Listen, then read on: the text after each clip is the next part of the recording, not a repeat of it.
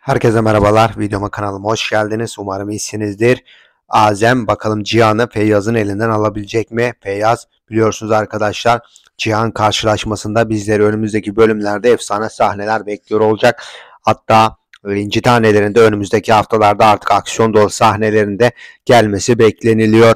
Cihan tarafından önümüzdeki haftalarda bizleri dediğim gibi büyük ters köşelerde bekliyor olacak. Sizler de inci tanelerini başladı günden beri takip edenler videoyu beğenerek sayımızı gösterelim. Detaylar geldikçe zaten dizimizle ilgili ben de buradan sizlerle paylaşmaya çalışacağım. Bir sonraki inci taneleri videosunda görüşelim. Sağlıcakla kalın.